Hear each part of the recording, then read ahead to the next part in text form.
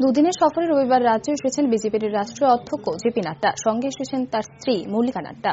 রাজ্যে এসে আর পাঁচজন নেতা মন্ত্রী স্ত্রীর মতো ভোগ বিলাসিতা বদলের সামাজিক কাজে নিজেকে ব্যস্ত রাখলেন মল্লিকা নাড্ডা। সোমবার তিনি আগরতলার রাধানগর এলাকায় পূর্বদয়ার আউটলেটে দুস্থদের মধ্যে বস্ত্র ও খাদ্য সামগ্রী বিতরণ করেন। সঙ্গে ছিলেন প্রাক্তন মুখ্যমন্ত্রী নীতিদেব সহ আরও অনেকে।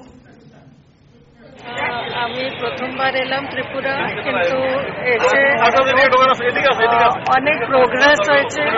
বিজেপি গভর্নমেন্ট আসার আর হার্ট অফ হিউম্যানিটি যে কাজটা করছে আমার মনে হয় আরও এমনি আউটলেটস সবাইকার জন্য হওয়া উচিত। আর আমি আগামী শারদীয় নবরাত্রে সবাইকে শুভেচ্ছা জানাই।